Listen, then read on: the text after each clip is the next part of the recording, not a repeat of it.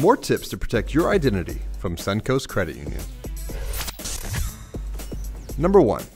Install a locked mailbox at your residence, or use a post office box to reduce the chance of mail theft. Number 2. Do not carry extra credit cards, your social security card, your passport, or your birth certificate except when absolutely necessary. Number 3. Shred all paperwork with financial and personal information on it before throwing it in the garbage.